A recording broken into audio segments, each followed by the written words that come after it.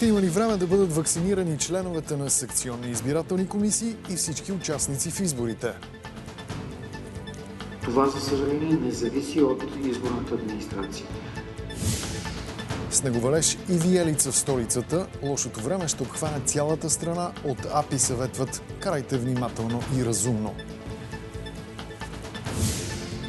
Световната здравна организация препоръча препарата на AstraZeneca за всички страни, които се борят с новите щамове на коронавируса и обяви, че е подходящ за хора над 65 години.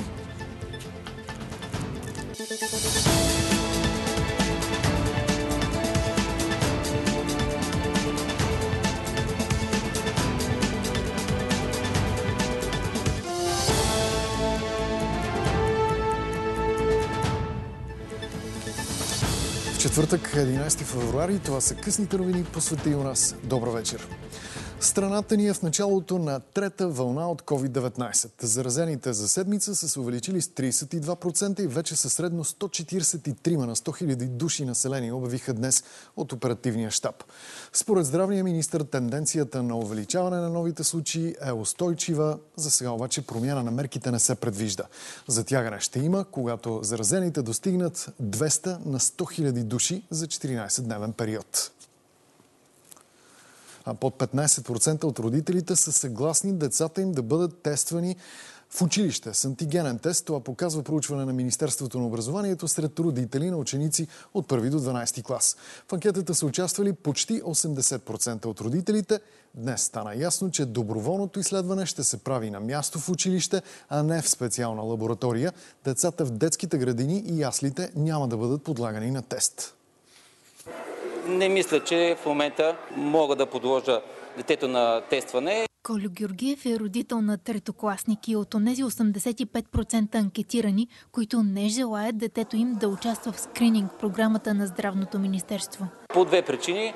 Едното, че мисля, че още е рано и децата малките мисля, че по-трудно се разболяват.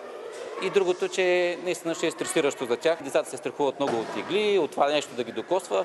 Заради неочакваната за Министерството масова негативна реакция на родителите, моментната снимка на заболеваемостта в училищата изглежда все по-трудно осъществима. Това, което ние разбрахме всъщност е, че а, а, сме направили комуникационна грешка като сме подали неправилно информацията към тях или е стигнала по неподходящ начин или сме останали неразбрани.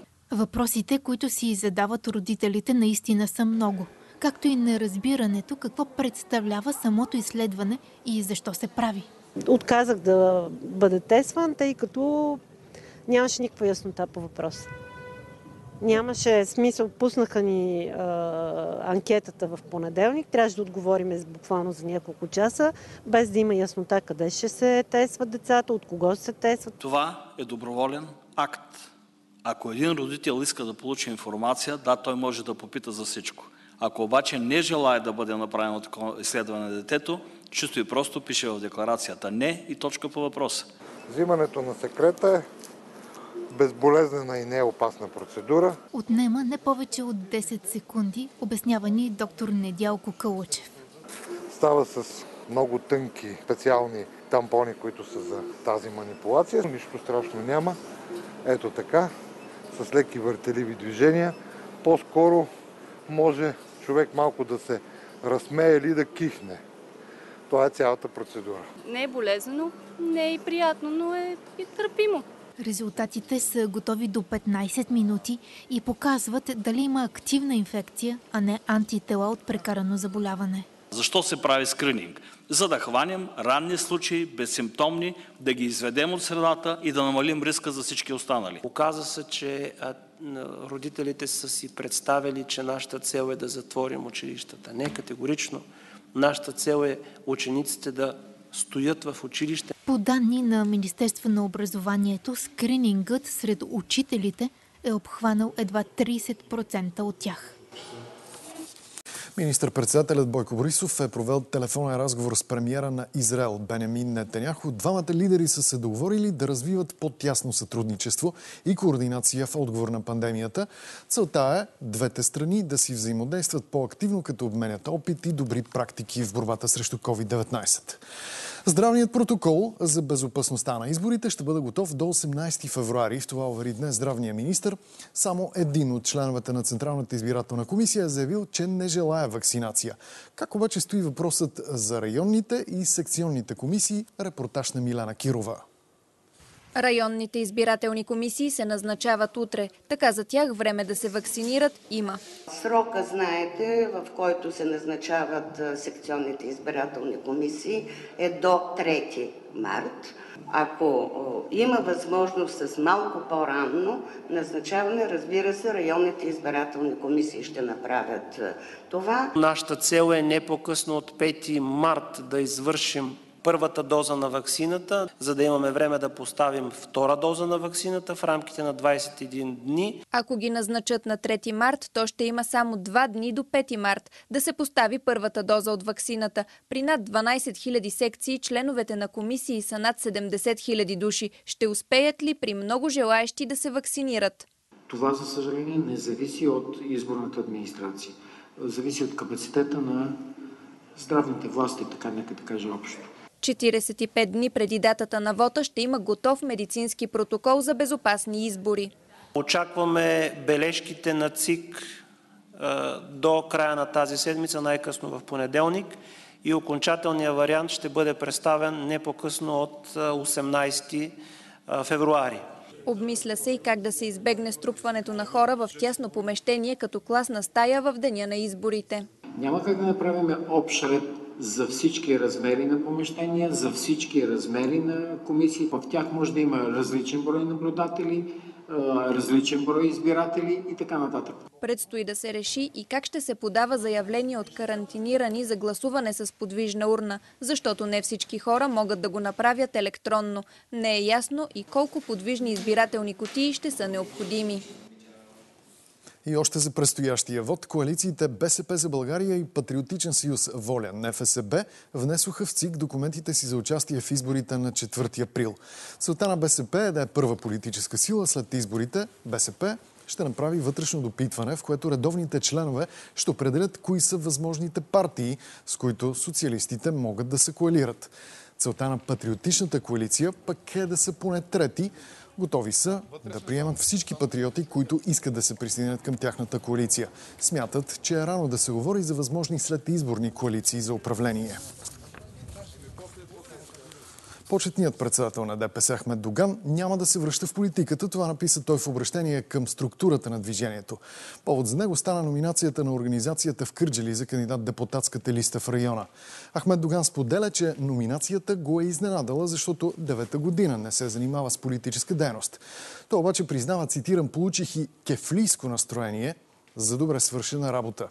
Той допълва, че неговата номинация дава импулс за мобилизация, но същевременно с това допълнително зарежда емоционалната мотивация на противниците на ДПС, защото образът му целенасочено е бил сатанизиран по време на прехода. Темата за връщането на Ахмед Доган в политиката беше коментирана и в предаването още от деня. Нашите структури правят тези номинации като знак на почет, знак на уважение към делото на доктор Доган. Някои партии се опитват да използват доктор Доган като мишена. Няма да се получи. Доктор Доган си има специалното място в ДПС. И още от четвъртък вътрешният министр Христо Терзийски съобщи, че всички документи по обществената поръчка, в която Олаф откри нарушения, вече са предадени в прокуратурата. Президентът Румен Радев призова за пълно разследване на този случай. По думите му трябва да се разглеждат всички документи, а не само селективно поднесените. Вътрешният министр Христо Терзийски разказа, че през есента на 2016 година, когато е оглавявал националната полиция, в дирекцията му са изготвени технически параметри на автомобилите от обществената поръчка, която Олаф проверява. Искахме да закупиме 350 автомобила от най-високия клас, които да бъдат почти еднакви с тези на колегите от гранична полиция. По думите на Терзийски, в средата на февруари 2017 година по препоръка на съветници на служебния вътрешен министр Пламен Озунов, критериите са занижени, за да се купят автомобили с по-малка проходимост.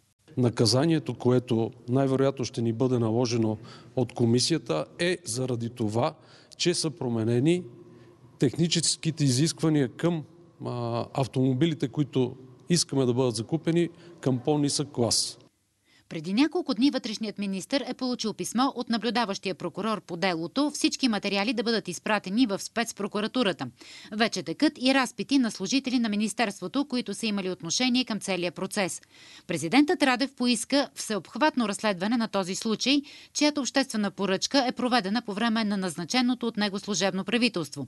Отбеляза, че ако е имало нарушение, то защо след това Вътрешното министерство е сключило договор и призова медиите за по-голяма активност и по други констатации на ОЛАФ и Европейската комисия. Например, за крупните злоупотреби в агенция Митници, които облагодетелстват по техни доклади определени фирми и лица на висши публични длъжности в България, но ощетяват европейският бюджет. По разчети на комисията за периода 2015-2018 разчетни години, стойността на загубите възлиза до 1 милиард лева, ведно с лихвите, които дължим. И колкото и сега този скандал да се потиска преди изборите, след изборите най-вероятно България ще трябва да плаща, както ще плащаме и а, огромните заеми, които в момента харчим. Бившият главен прокурор Сотир Цацаров коментира, че по негово време сигнал в прокуратурата не е имало. Припомни, че нарушенията са открити от Олаф и докладът е предоставен на прокуратурата. Като главен прокурор съм бил сезиран от Олаф за това, за което е сезиран настоящия главен прокурор, бих направил точно като него. Аз от една страна имам, я говоря за съвсем институционално доверие в това, което прави Олаф и с оглед на това разследването е отново в ръцете на прокуратурата. Така че в крайна сметка едното разследване на Олаф и това на колегите от прокуратурата ще посочи кои са лицата, които те считат за виновни за всичко това. За случая с сина му президентът Радев призова медиите да установят фактите, а не да повтарят опорките на подумите му кафявите медии. Мисля, че го дължите най-вече на тези млади хора, които на прага на своята пълнолетие са пряко засегнати от манипулациите. И тъкмо сега те формират своето отношение към институциите и към медиите. От началото на мой мандат семейството ми е подложено на непрекъснати атаки. И аз нямам намерение повече да коментирам този режисиран скандал. Вътрешният министр заяви, че четвърто РПУ работи по случая и се разпитват всички участници. Не всичките са се явили по различни причини, да. Това е което мога да кажа да по случай. вижте какво, отново казвам. МВР си свърши работата по този случай и продължава. Да. да. Няма как да ви отговоря за а, лица, които подлежат на специална защита. Терзийски съобщи още, че след приключване на работата материалите ще бъдат предадени на районната прокуратура. В следващите години България ще получи близо 60 милиарда лева европейски средства, като голяма част от тях ще са под формата на грантове. Това заяви премиерът Бойко Борисов. Той посочи, че страната ни ще бъде една от първите, които ще излязат от пандемията. Зелената сделка, справедливия преход, план за възстановяване. Това са 60 милиарда лева, които ще дойдат в следващите години. От тях 50, милиона, 50 милиарда са грант, 10 милиарда могат с заем да се взимат. Ние сме държавата с най-нисък бюджетен дефицит 3%, имаме прекрасен министр на финансите, с най-низкия външен дълг в Европа и гарантирано за след изборите, каквото и да е правителство, пари да може не само да не се спре инвестиционната програма на държавата, Премьерът благодари на медиците за това, че България продължава да е на 26-то място по заразени и на 15-то по смъртност в Европейския съюз. Той коментира и продължаващия миграционен натиск, като посочи, че за денонощия между 80 и 200 нелегални мигранти се спират на границата. Борисов провери ремонта на близо 16 километровия участък от магистрала Тракия и получи уверение от строителите, че той ще е готов до края на март. Премьерът посочи, че в момента се работи на всички проблемни пътни участъци в страната. Само за няколко часа температурите в страната паднаха. С над 15 градуса. Очаква се още по-голямо понижение, както и снеговалежи. За утре в 6 области в Северо-Источна България е обявен жълт код за потенциално опасно време за сняг и силен вятър. От Агенция Пътна инфраструктура предупреждават шофьорите да тръгват с автомобили, подготвени за зимни условия и да карат внимателно. Заради снеговалежа и почистването на автомагистрала Тракия тази вечер се образува колона от автомобили в района на Вакарел в посока Пловдив. А в София рязката промяна на времето, снеговалежът и виелицата предизвикаха задръствания тази вечер. Придвижването на автомобилите ставаше бавно, а по Цариградско шосе в час пик се образуваха километрични опашки и в двете посоки. Движението по булеварда обаче не беше спирано.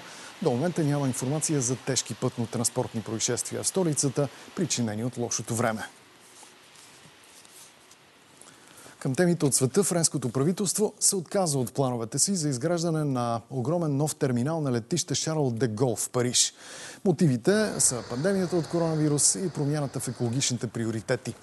Четвърти терминал би позволил на летишния комплекс да обслужва допълнително до 40 милиона пасажери годишно. Франция промени драстично транспортните си приоритети в посока на самолети, задвижвани от електричество и водород. Така досегашния проект за разширяване на летище Шарл де Гол се оказа устарял, по думите на френския министр на екологията. Непоказвани до сега кадри от охранителните камери в Капитолия. Това беше най-силното доказателство, представено от демократите в Сената по време на втория ден от процеса срещу Доналд Тръмп. Припомням ви, бившия президент е обвинен в подстрекателство към метеж, довело до събитията от 6 януари, при които загинаха петима души. Разгневена тълпа успява да щупи прозорците на Капитолия. Човек въоръжен с огромна дървена дъска нахлува пръв. Следват го хора с бронежилетки, мъж с бейсболна бухалка, десетки други, готови да сеят хаос. Срещу тях се изправя един единствен охранител, полицай Гудман, чиято смелост и съобразителност се оказват решаващи в тази нощ. Опитва да обезвреди първия симпатизант на Тръмп, проникнал в сградата, но скоро след това разбира, че няма как да се справи сам предприема друга тактика, насъсква тълпата срещу себе си и ги кара да го подгонят, за да ги отведе до унази част на сградата, в която са останалите охранители. Спасява и бившия кандидат президент Мит Ромни, като го предупреждава, че зад него се задава разгневената тълпа. Полицай Гудман минава покрай сенатор Мит Ромни и го предупреждава, че е в опасност. Виждате как той се затичва в обратната посока. Единствено бързата реакция на охранителите е попречила на симпатизантите на Тръмп да нанесат по-сериозни щети. Вижда се и как нападат полицаите с подръчни средства, стикове за хокей и знамена с логото на Тръмп. За първи път от 200 години седалището на нашето управление беше под обсада. Казаха ни да залегнем, да си сложим противогази. Никога няма да забравя звука от блъскането по вратата. Макар и основна мишена на симпатизантите на Доналд Тръмп да е била председателката на Камерата на представителите Нанси Пелоси, в опасна близо с тълпата попада и вице-президента Майк Пенс.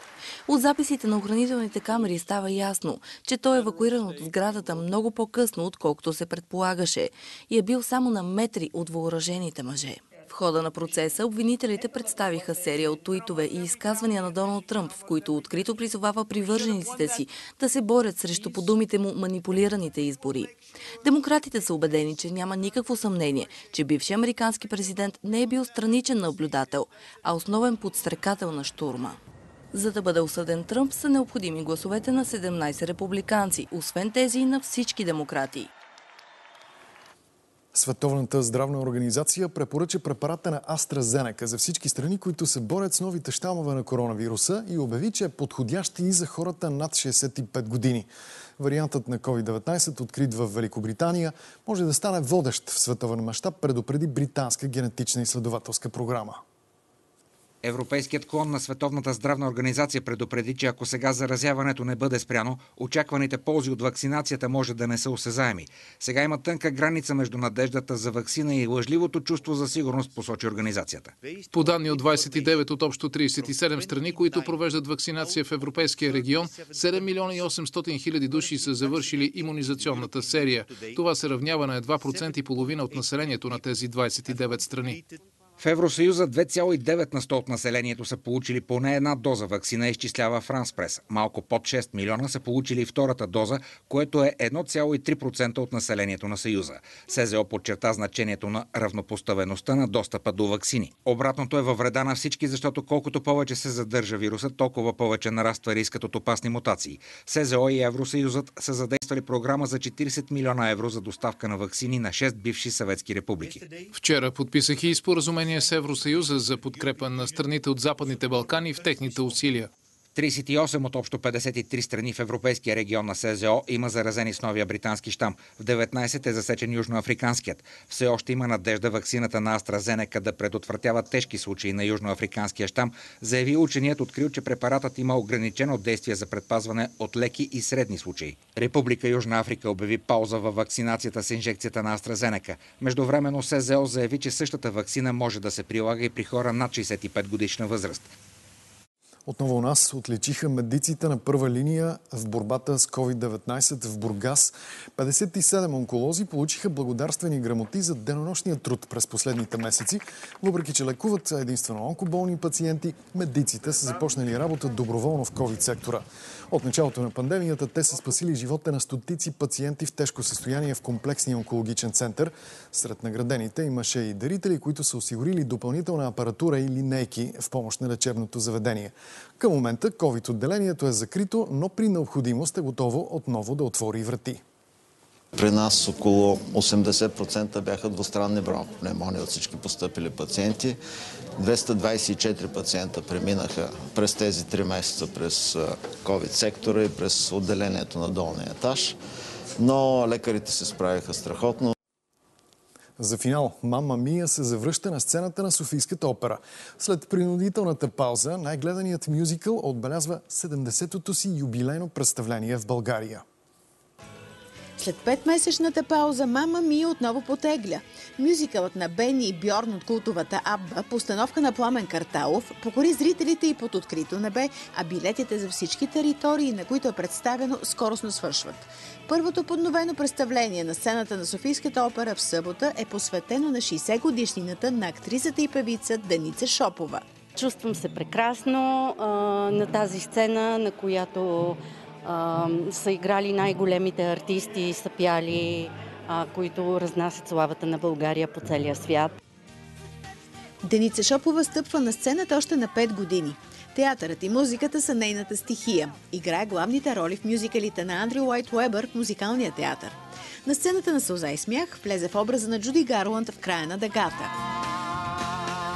Много се радвам, че за 60 години някак си съм успяла моята мисия е била мюзикъла да, да бъде в България толкова значим, колкото другите изкуства. Мама Мия е 27-я мюзикъл, в който участва. Носи специална енергия и очакване срещите с зрителите отново да станат без ограничения.